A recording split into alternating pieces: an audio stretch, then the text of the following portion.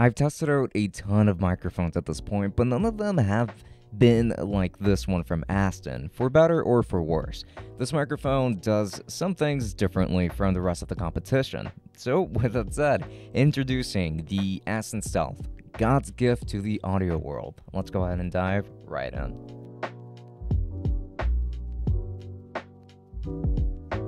Before we continue, don't forget that I have a Twitch channel that you can go ahead and follow me on for live microphone reviews and much more than that. But you're also going to find my Twitter, my Instagram, and a link to the Tech Summit Discord in the description. So come join the community because it is a pretty cool one. We've also opened up a Patreon as of late where if you join, you'll be automatically entered to win one tech gadget every month in our exclusive giveaways. Details to that are going to be down below. Don't forget to check out the description for everything.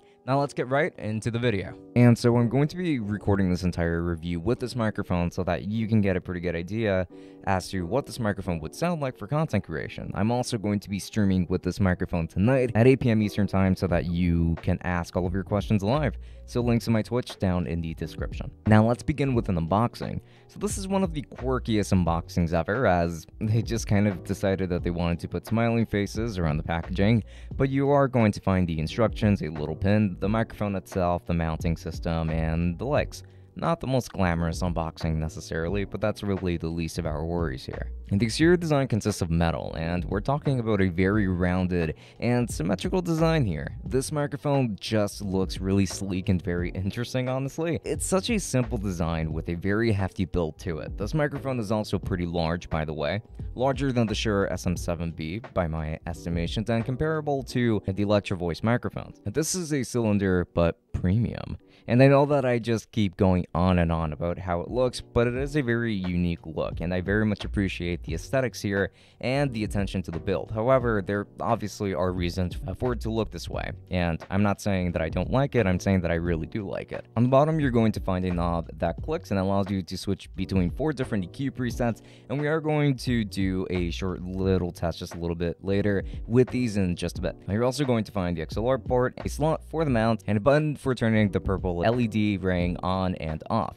There's also a pop filter right on top that does help with plosives as well, and I have to say that it does do a pretty good job here. So let's go ahead and talk about the specs of this microphone because there's actually quite a lot to talk about here. This is a cardioid dynamic microphone with a frequency response of 20Hz to 20 kHz, one that can be used with phantom power as well to give it a gain boost if necessary. This particular feature, I believe, is actually more situational or more dependent on what interface you're using. So I actually decided not to really run any tests with it. However, I did kind of dabble a, a little bit with turning Phantom Power on.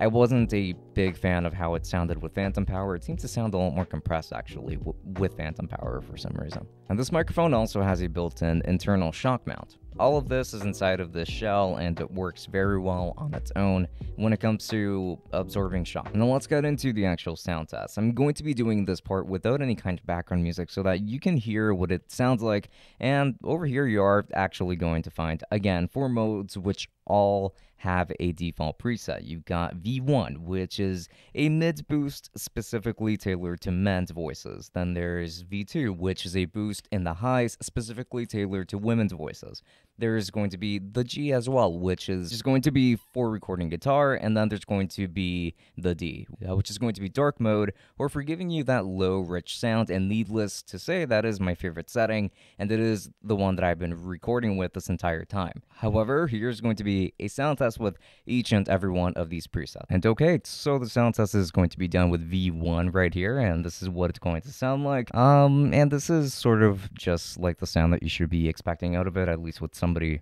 with like my kind of voice like this is what what it would sound like. It would be just very much so an emphasis on the mids in my voice and just like pushing that forward more so. Again, like this is tailored more so more so towards men's voices. I'm making the switch over to V2. The, this is what that is going to sound like, and that is going to emphasize the highs a lot more than anything else, and it is going to be very clear from what you're hearing. Ho- hopefully, you're you're watching this video with headphones on, in order for you to really hear the differences between these. Otherwise, if you're just using like phone speakers or something like that, you're not really going to hear much of a difference, if at all. So Yeah, but otherwise, this is what that is going to sound like. And then this is going to be the G preset. And this is actually meant for re recording instruments or recording the guitar specifically. So obviously, this setting is not meant for like spoken word applications at all. So don't worry about it. I, I just kind of figured that you might want to know what it sounds like either way. Now we're going back to the dark mode that I've been recording on this entire time because I do actually happen happen to prefer the sound a lot more. And yeah, this is essentially what you're going to get out of that one. And also, as you may have noticed, this microphone handles plosives really well too, but I have to say that the first three settings I'm not a huge fan of because they either really don't work well with my voice at all or they're just too boosted in set frequencies. Obviously, G is meant for instrument recording or guitar recording, so that doesn't really count here. Now we're moving on to the EQ test, and in this case, I'm actually using V1 as like the baseline for this test and I've actually gone ahead and lowered the mids here because this setting in particular is very mid forward too mid forward if anything. So I, I went ahead and lowered the mids on this one increased the highs by quite a bit and increased the lows by quite a bit because I wanted to keep at that depth of the low end and I wanted to keep the clarity of the high end as well. And I would say that it sounds pretty good like this. However I'm going to be doing the rest of of this review with just the dark mode setting instead and no other EQ filters applied to it at all. And now on to my complaints. I really don't find the V1 or V2 presets to be very good because they sound pretty compressed to me. However, they actually make for good baselines for what to change when you're running it over the EQ. And the V1 setting obviously tells you that it's the most mid forwards, so you know that you want to bring that down and probably focus on nailing the lower and higher frequencies instead.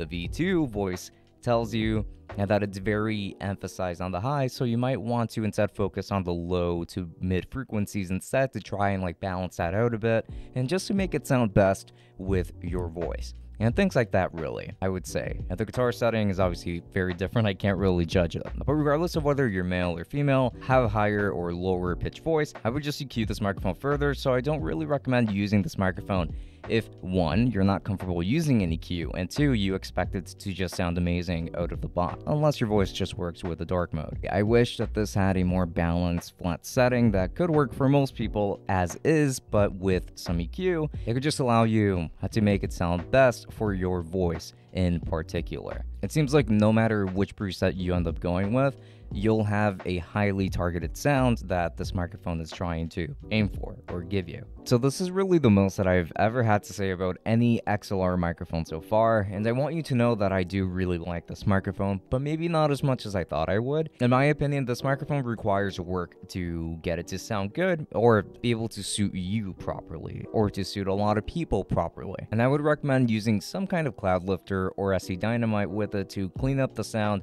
a little bit as it does appear to have a higher noise floor, though I am also using the Yamaha MG10XU audio interface, and this interface doesn't have the cleanest preamps either. However, this microphone is surprisingly customizable since it makes it very obvious as to what needs to be EQ'd to sound best for you. It's built really well, looks really cool, and handles plosives really well in my opinion. Now, would I personally buy this over the Shure SM7B? No but I believe that this microphone offers more support when it comes to different use cases. Instrument recording being one of those, and that dark mode already sounding so sweet and so smooth. I like this microphone quite a bit. I just think that this microphone is really for people who like to tinker or who are willing willing to tinker with their audio and then want to do, or I should say, if you're just that kind of person in general, then you will like this sound or this microphone quite a bit too. I can recommend it, but probably not to everyone that is currently watching this video. And if you're interested in purchasing this microphone, then I'll be making sure to leave affiliate links down to Amazon in the description. And if you end up using any of my links, and that includes Lustre, which is actually going to be a great tool for helping you find alternatives to microphones like this one, or just like to find even sales on a microphone like this. It is going to help you do exactly that. So link to that down below. And there are also going to be links to Abunda. Like let's say that you did decide that you want to go with this microphone. Abunda is going to make it extremely easy for you to finance this microphone on Amazon without the need of having your own credit card or getting yourself wrapped up in anything insane or crazy. It is just going to be very simple financing. So link to that down below. And if you use any of my links, you'll be helping out the channel quite a bit. So I'd appreciate that quite a bit. And also don't forget that I'm going to be streaming with this microphone tonight at 8 p.m. Eastern time. So do make sure to stop by for that. And links to my Twitch are going to be down below. There's also the Tech Summit podcast, so you can go ahead and subscribe for. And we do have a Patreon that you can go ahead and subscribe to. And in exchange, uh, you would be entered in a monthly giveaway where we give away one piece of tech that we've reviewed on this channel of at least 50 bucks in value or above. So links to that down below. And you can also follow me on the rest of my social media like my Instagram and my Twitter. And for any kind of questions or anything like that, you can always stop by the Tech Summit Discord as well. So with that said, this has been Francisco from Tech Summit. Thank you for watching and I will be seeing you all later. Enjoy.